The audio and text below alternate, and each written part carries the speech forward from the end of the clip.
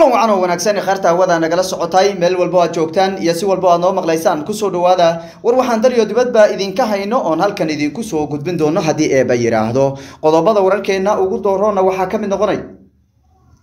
Dagaaladii ka socday dalka ukraine iyo xaaladu goobihii ay ku dambeeyeen iyo ruushka oo ku baaqay xabad joojin hal dhinaca isagoo sheegay in dagaalku uu gabagaba yahay islamarkaana uu ku baaqay in hadda ciidamadiisa ay joojinahayaan howlgallada ay ka wadaan dalka ukraine. Wuxuu sidoo kaleeto ruushka uu sheegay in gacanku haynta magaalooyinkii ugu muhiimsanaa ee duulaanka uu la rabay inuu hadda uu gacantiisa ku dhigay. Waxaad sidoo kaleeto warkeena kaga bogan doontaan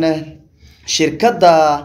meta ee dalka ruushka ka howlgasa oo shaqo joojin uu ku sameeyey isagoo arintaasi qodobo dhowra ku saleeyey sidoo kaleeto waxaan idiin soo gudbin doonaa dagaaladii ka socday dalka etoobiya iyo goobihii ay ku dambeeyeen iyo dhammaanba xaaladaha ka taagan dalka etoobiya maamulka axmaarada waa xubno sare oo maamulka axmaarada ka tirsane ayaa ku eedeeyey xubnaha dhexe guddiga dhexe ee xisbiga barwaaqo ee ka soo jeeda axmaarada inay sameeyeen musuq maasuq weyn iyagoo ku eedeeyay in boqolaal kun oo lacaga ay qaybsadeen dhinaca kale ra'iisul wasaaraha dalka etoobiya ayaa sheegay in tallaabo uu ka qaadi doono cid walba oo lagu soo eedeeyo in ay musuq maasuq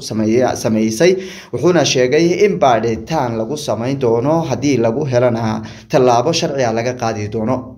Qodobadaasi iyo kuwo kaloo faahfaahsan ayaad warkeena kaga bogan doontaan waa maalinimo sabti ah taariikhduna ay ku beegan tahay shantii bisha saddexaad laba kun labaatan iyo labada qodobadaasi oo faahfaahsan ayaana warkeena ku eegi doonaa waxaana stuudiyaha gula sugan maxamed wacane oo ka faallooda xaaladaha geeska africa islamarkaana isha ku hayay xaaladihii dalka ukraine iyo dhammaanba caalamka. Waxaana ku soo dhow aad baad mahadsantahay aan ku bilownay dalka ruushka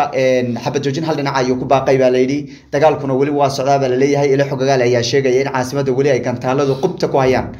Shacabku inuu weli qaxaya ukraine oo ay xuduudaha u baxayaan. Xagee xaalku maxaa u dambeeyey? Aad baad mahadsan tahay arrimaha ugu waaweyn ee ukraine maanta ka taaganayay waxaa ka mid ah in ruushku uu ku dhawaaqay xabad joojin hal dhinaca taasi ugu ogol leeyahay. In uu dagaal ka wadi doono magaalooyin ay ka mid tahay magaalooyinka xeebaha iyo sidoo kaleeto magaalooyin asaga taagad uu ka dhiganayo uu leeyahay dadku waa in ay iskaga guuraan halkaasi oo la rabo in uu howlgallo uu ka fuliyo maanta. Magaalooyinkaasi waxaa ka mid a magaalada mirapol iyo magaalo kaleeto ayadana muhiima oo la yidhaahdo volnavaco magaalooyinkaasi ayuu sheegay in uu ka fulin doono howlgallo heer caalami ah halkaasi oo uu uga gol leeyahay in uu ka difaaco badda madow magaalooyinkani dhammaantood waa magaalo xebeedyo waxayna daris yihiin magaalada kharsoon oo maalin dhaweyta uu qabsaday ciidamada ruushku ay qabsadeen wasiirka gaashaandhigga oo hadlayay ayaa sheegay in arrintaasi looga gol leeyahay sidii duulaankan lagu qaaday dalka ukraine qaabkii lagu soo afjari lahaa iyo sidoo kaleeto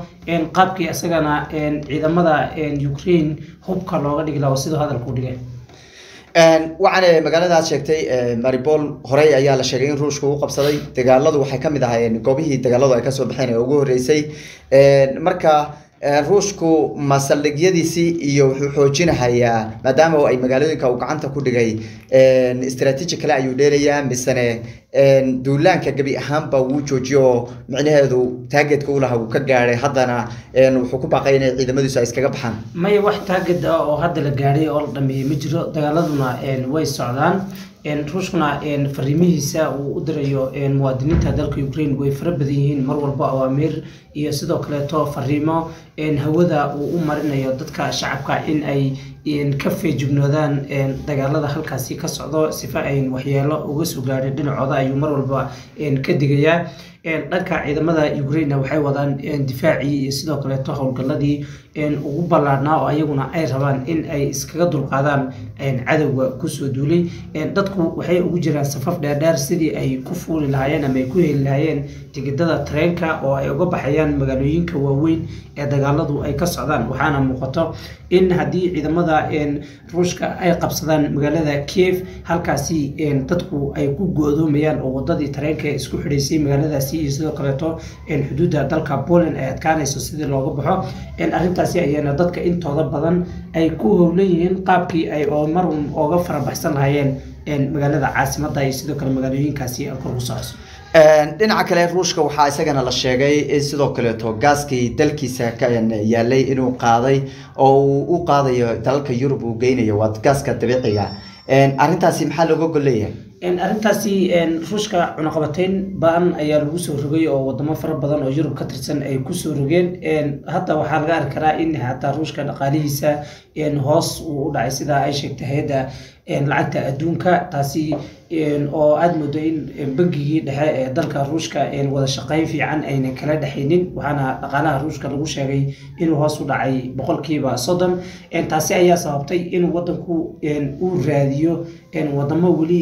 saaxiibtinimo uu laleeyaho yurub ka tirsan kuwaasi oo uu u iibgeyn karo gaaskiisa dabiiciga. Yurubna waxaad moodaa boqolkiiba sagaashan iyo sagaal inaysan ka maarmin gaaska dalka ruushka anaadna dhinaca dalka etoobiya maxamedow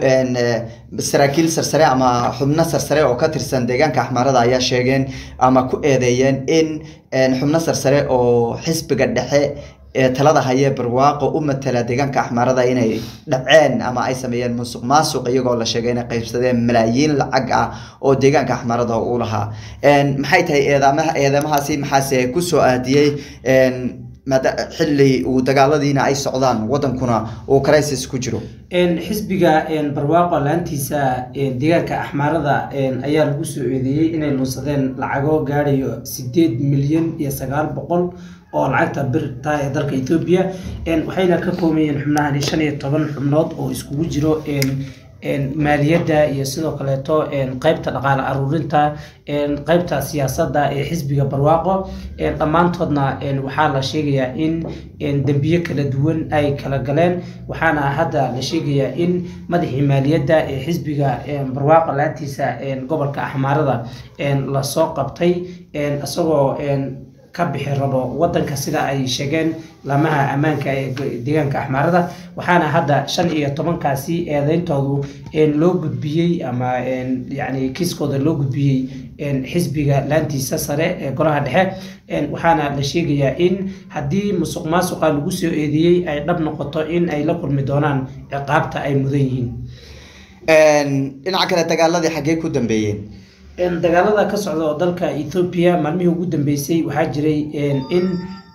kooxaha isku aruursanayo deegaanka oromiya ee ku dagaalamaya iyaguna in ay qabsadaan deegaamo aada u tiro badan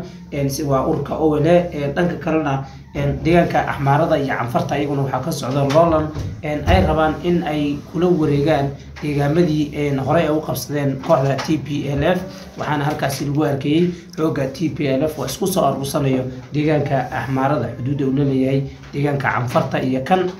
axmaarada laftirkiisa isagana howlgallo kala duwan ayaa ka socda oo ay qaadayaan ciidamada militariga dalka etoobiya iyo sidoo kaleeto ciidamada fano oo ku sugan ayaguna deegaamada xuduudda ay laleeyihiin tigreer wadahadaladii lagu soo afjarayay colaada ka taagan dalka etoobiya ee dhinacyada mucaaradka la iskugu yeedhayay ee belihii ugu dambeysay oo qabanqaabadeeda ay socotay. Iyadu xaggee ku dambeeyeen wadahadaladii waxaa la rajeynayay inay sida ugu dhaqsiyaha badan dhacaan laakiin waxaad moodaa in mar walba wax un sii halaabayaan oo waxba uun dhacaynin. Madax u hadashay guddiga hirgelinta wadahadalada dalka ethoobiya ayaa sheegay in ay wadahadaladu meel fiican marayaan laakiin ma aysan shaacinin goorta rasmiga ay dhici doonaan aada iyo aad baad umahadsan tahay kaasi wuxuu ahaa maxamed wacane oo inala socodsiinaya xaaladihii ugu dambeeyey ee caalamka. Daawadaal idinkana waad mahadsan tihiin warkan warka xiga intaan ka gaadhaynana waxaan idinka tegaynaa nabadgelyo